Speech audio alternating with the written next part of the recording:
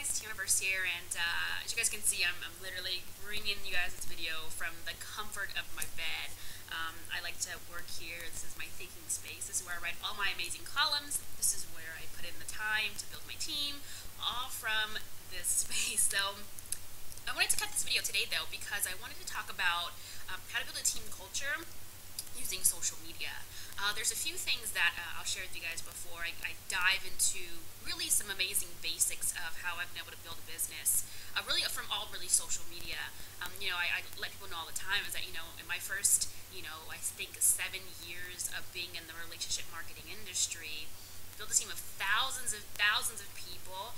And the one thing that was interesting is that I never was able to really work from my home, right? I was always out and about. So I made the decision that when I got started again, after I took some time off, that I was really going to get really, uh, really deep into knowing how to build a business from the comfort of my home and more importantly from my bed. So, uh, what we did, uh, basically over the last, I would say almost about it's been less than 90 days. We've been able to break over 100 people on our team, which is pretty dynamic, and that's going to lead obviously to 1,000 and 10,000 obviously going into uh, next year. So really excited about that. Um, but there's some things that we do uh, social media wise to build a team culture and to really get people to want to pull out their credit cards and just join, honestly. Um, this has been my strength. Now, obviously, I've built credibility on, on Facebook where people kind of know that I'm always really positive. I always have stood for something, my core beliefs. I've been an entrepreneur now for going on nine years, never had to go back and get a job, which is not bad because sometimes you have to do what you have to do. Uh, but I, I didn't have to do that. So I always laugh and joke with my with my with my uh, my friends, and it's really funny. I said I'd rather, uh, you know, listen, I'd rather go back and live like in like a little box than that I would have to go get a job because I'm doing what I love and this is my passion. So it's a pretty funny joke. But uh, so basically, let's get right into it because this is what I want to share with you. This is really really cool. So obviously, you're looking right now at this is my Facebook uh, Facebook timeline, right? My Facebook page, and I want to go over some specifics right now, which it may not seem like it's a lot, but trust me, it goes a long way when every single person can totally see um, what's going on on your Facebook timeline. So I'm going to scroll down right now. Obviously, someone said that looks like a, uh, I should do that photo shoot. I probably will.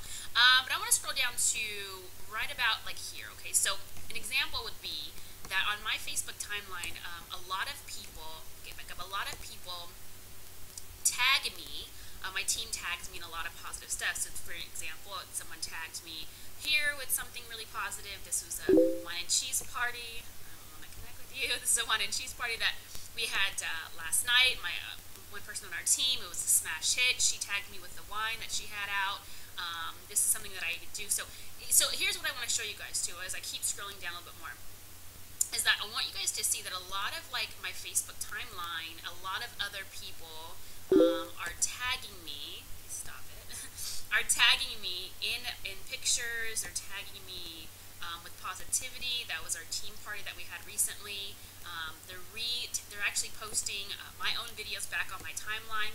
Uh, again, people are tagging me with positive stuff, and and so really it, it, goes more of my whole entire timeline at the moment has more people um, posting positive stuff about our team and what's going on um, on the team than I even post, which is one of the biggest marketing tips that I can give you is that be somewhat of influence to people that you work with, to your organization, and allow them to express their gratitude on your Facebook timeline. Because what that does is it gets people who maybe that you've talked to, you know, about the business, maybe they're, you know, people who told you no, maybe, um, you know, it was, you know, someone who just hasn't responded to your message yet. You never know, but what what one of your team um, is going to have an attitude of gratitude uh, for you one day and post it on your timeline. And if you have enough people doing that, people that are on the fence that haven't responded, they're gonna they're gonna look at you and say, okay, you know, maybe I should get started because I see a lot of people having success, and that's really the, the biggest key. So if that's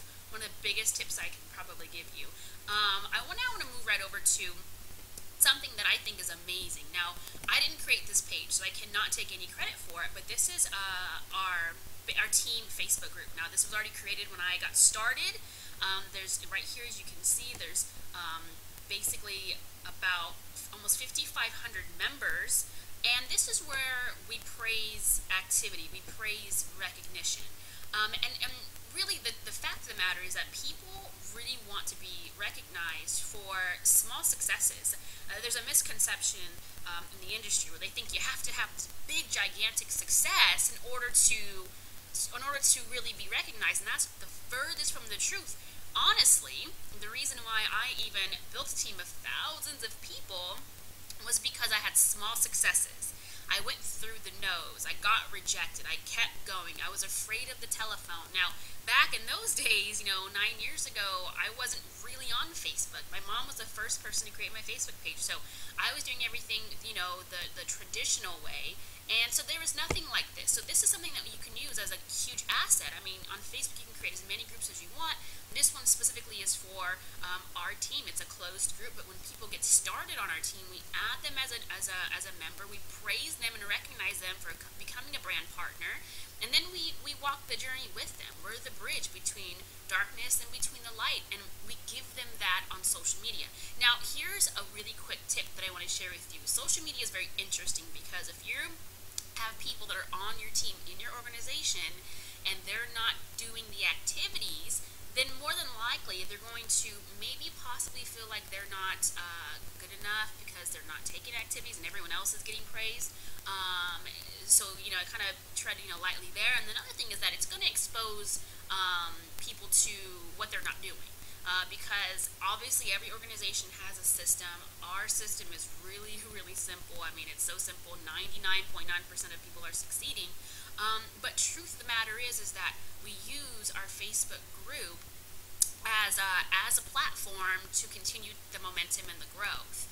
Um, so yeah, that's exciting. So uh, that's one way that you can build a great team culture. It's really important. I can't stress that enough. And the cool thing is, is that when you look at what we do in our Facebook, you know, we tag everyone. That's another, another you know, key is that we tag everyone. So when a new brand partner comes in on the team, you know, we I tag my entire team uh, because I want them to say, hey, welcome to the team, welcome, welcome. And somebody gets three or free and has no auto ship, I'm like, oh my God, this person got three preferred customers. They have zero auto ship now. They're three or free. So now more people are getting praised. And I tag the entire organization. So um, that gives a community that's pretty amazing. And then you convert that to a team event like I just had at my house with people who are in driving distance. Uh, and then uh, you can always Skype or do a Google Hangout into people that aren't uh, in driving distance. Now, at some point, your team is going to get big enough where you can't do it, but the, you know this is one way to build the rapport and the team culture. So I hope you guys enjoyed that really quickly. I didn't want to make this too long, but those are some really quick tips on how to build a great team culture, social media,